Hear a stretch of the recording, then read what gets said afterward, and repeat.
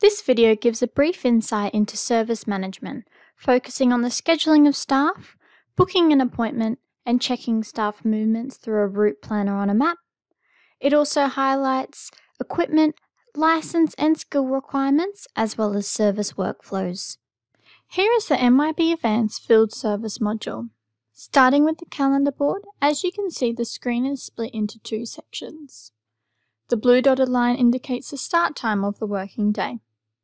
On the left-hand pane, we can see unassigned appointments, and on the right, the calendar of the service engineers. We can see the date for the expected job, and this can be cross-referenced to the service engineer's schedules. By minimizing the left-hand pane, we can expand the view of the right-hand pane. Note the day selector in the top right corner. Staff can be filtered and the view can be transposed to show time intervals across the top of the screen. The calendar also allows for additional time selections, such as working time, weekdays, and book days.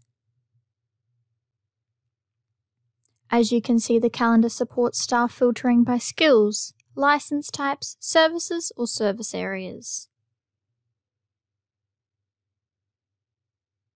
From the calendar, you also have the ability to book a new appointment. A new window will open where you can assign the customer, assign the branch location,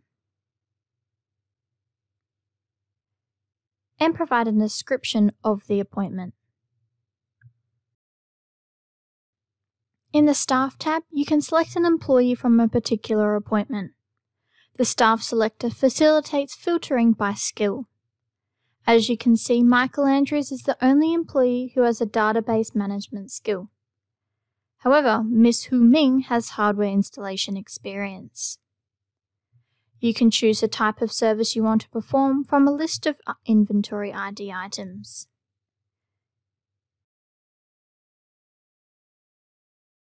You may also select a billing rule. Under the Settings tab, you can choose the estimated end and start times of the appointment.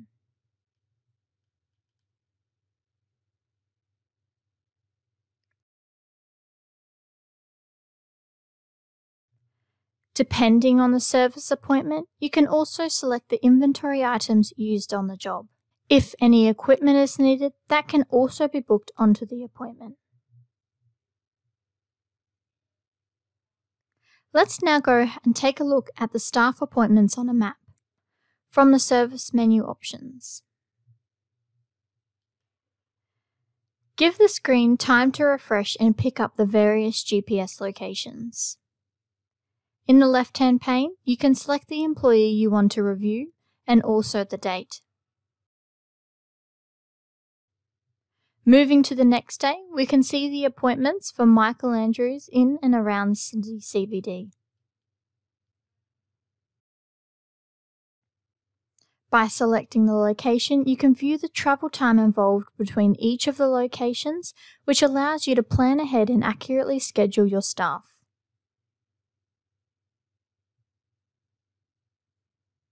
From the Services menu options, let's take a look at equipment.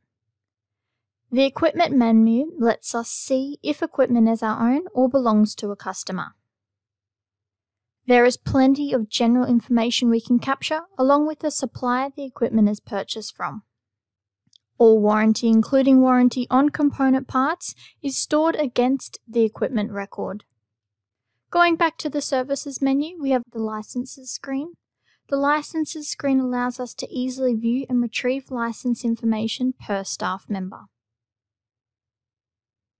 From the Services menu, you can also manage all skills that are required to do a service job within your company. The Services menu also has workflow stages. Service order types can be assigned to a workflow of stages that determine the required workflow. That concludes this brief overview of the MYOB Advanced Field Service module. Get in contact with Momentum today to learn more. Thank you.